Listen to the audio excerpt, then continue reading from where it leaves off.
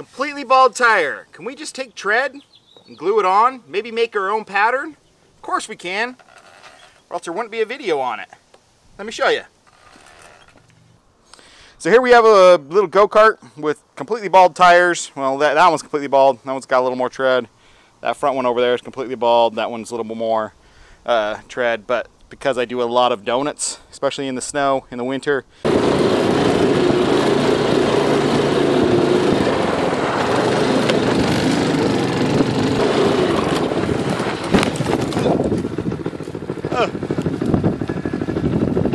That. That sucks. And so I've eaten the tires. Time for new tires, but I figured, you know what? Let's see if this glue that I've been using for sidewall repairs is good enough to actually glue on tread. I've done a couple tests off camera before this and it's working amazing. So I have no doubt that gluing tread and then taking this on the pavement will work. So I'm gonna show you what I do, how it's done. So you can see I've already done some, but I left some just to show you guys. So what I'm using is this is actually sidewall out of a tire. I think you can probably actually, this one says contact or something. Um, that one says Continental. So just out of the sidewall of a car tire, just cut these up. I'll show you how to do that in a second. But just cut up strips, sanded the inside, sand the surface where you want to go, and glue it down. About that simple. So what am I using to sand it? Um, this is just a Roloc disc. I also do have a uh, tire buffer. That leaves a coarser finish. Either one works. You could chuck just a sanding disc and a drill. Doing it by hand, you probably wouldn't get it good enough. You need to get down to clean rubber. Get my head out of the way. You're just breaking the surface, getting down to clean. And then I like to degrease it all, make sure it's all degreased. What I use for that is carburetor cleaner. It's the same thing as acetone, so you could use acetone. Uh, I have not tried brake clean, but I'm sure brake clean would work just as well. The inside of the tire comes with ridges. I also clean that off and make that smooth. Procedure is pretty basic. I'm just going to take some glue. I'll show you what glue this is in a second. But I'm just going to apply some glue really fast. Put it down. Smear it out. That's done. Hold some pressure on it for 15 seconds. Done. Move on to the next one.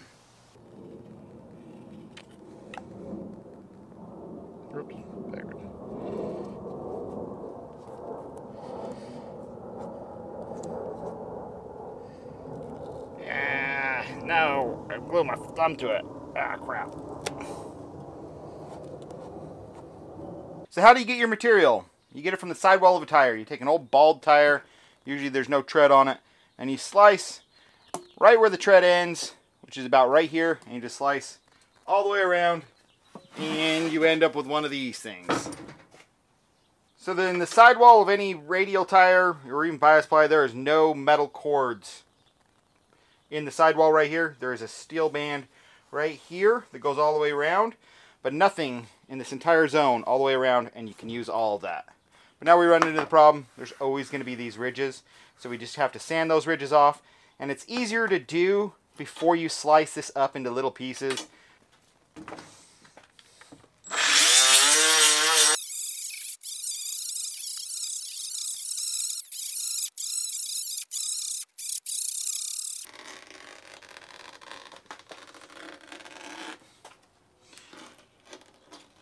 It's actually not that hard to cut. Um, this is a car tire. Uh, most car tires are about a quarter inch thick. Uh, truck tires, you can get them up to, you know, maybe three eighths of an inch thick, but it gets, that's when it starts getting really hard to actually slice. Um, can be done, not impossible. Just a little bit more work, but you get a little bit more tread, you know, so what's the trade-off worth?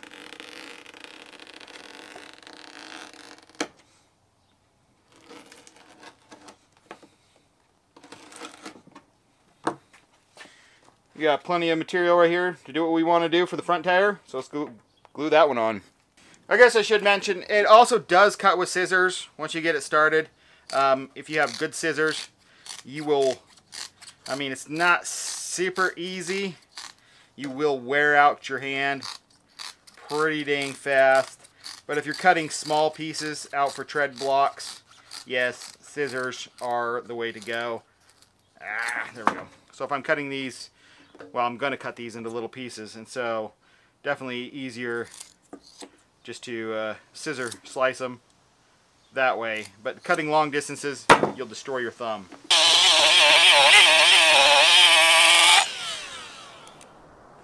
I do think I like about a 60 grit um, Roloc sanding disc better than the dedicated tire buffer. I think it leaves a better finish. You could make yourself some custom, you know, like tri-ribs or something. Tires, if you're doing like a garden tractor, you can make some chevron patterns, you know, give yourself an awesome little chevron pattern, something like that. You could actually just wrap them around like this for the back of on a garden tractor for actually non-scratchable snow chains, stuff like that. But I'm just gonna glue a couple little blocks right on. No big deal. We'll just go around and glue them every couple inches. In all honesty, a tire this small, I would probably just buy a new one. They're cheap enough. But this is for science. I, I'm, I'm curious how well this is going to hold up. So that's what we're doing here.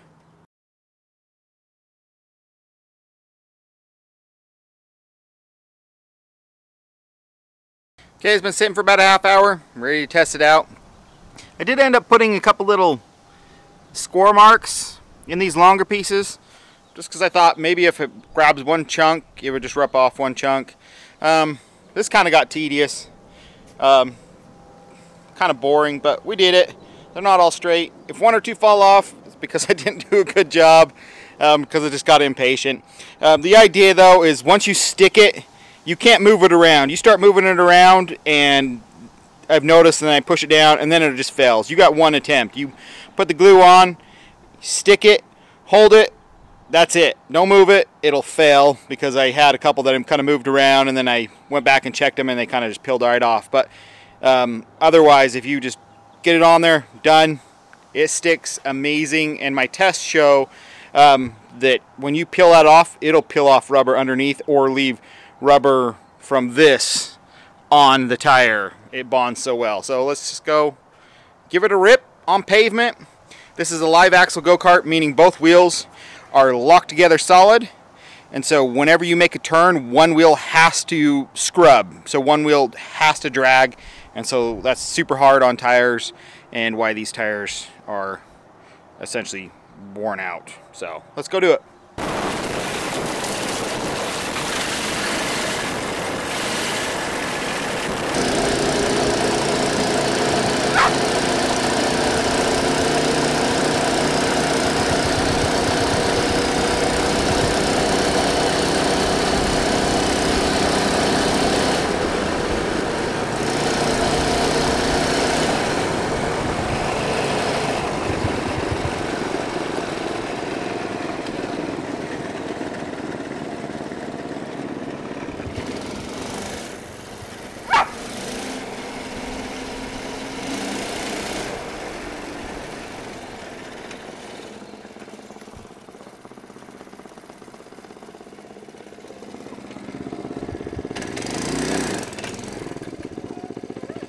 All still on there.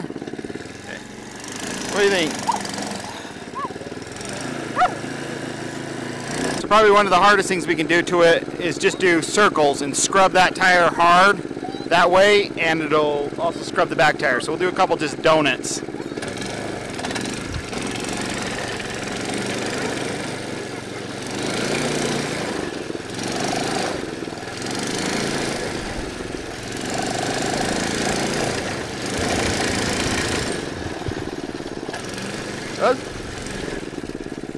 Sorry, get back in.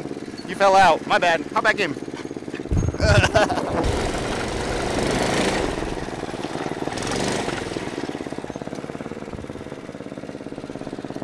Somebody had a bad day.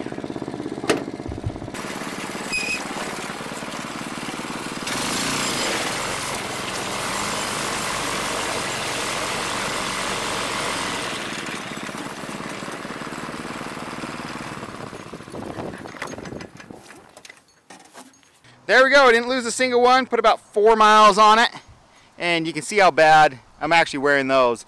This front tire right here, I mean the whole front end's been hammered and bent and it scrubs pretty hard. And I was scrubbing pretty hard but you can see how much I've actually even worn off. But they're not going anywhere. Didn't lose a single one which is impressive. On the back same thing. You can see it doesn't scrub as hard here. You can actually still read some of the logos it's starting to break up the front edge a little bit from traction but yeah you can see the back doesn't nothing like the front that wears out some of them you know, you can start seeing the cords in the tire poking through, smoothing off. This one right here was really kind of getting it, but didn't lose a single one back here. So I probably have about 10 to 15 miles on hard gravel road like this and another five to 10 miles on like rocky bumpy road. And just a teeny bit of pavement. And check this out. I put a little blue dot so I wouldn't lose it. Right here. And we come up here.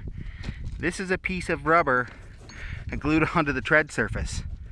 Yep look at that. It sticks about a quarter inch higher. And all the rest of the lugs I put it towards the middle so it gets whacked every single time and it ain't coming off it's a piece of tread now that glue is amazing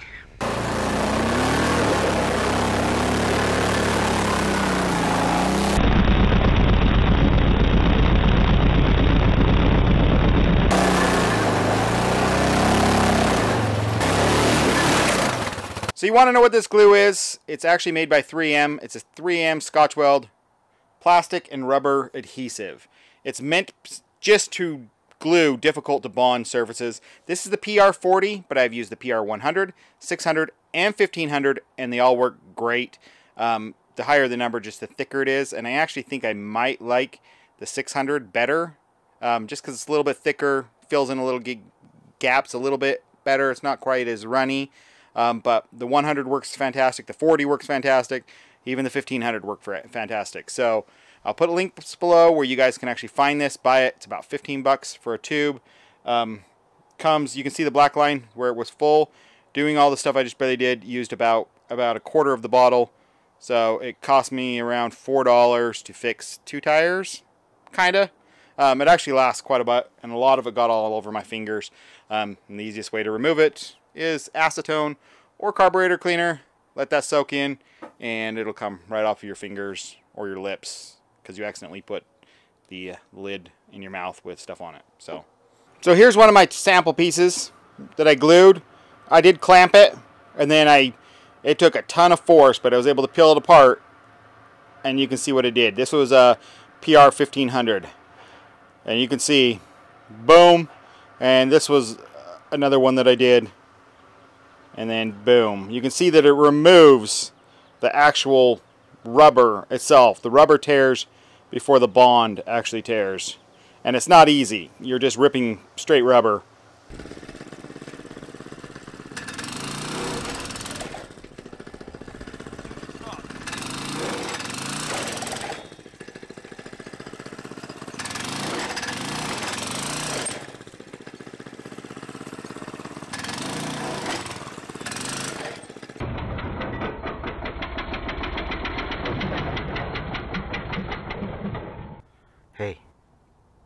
I didn't want to tell you this, but you're a dog.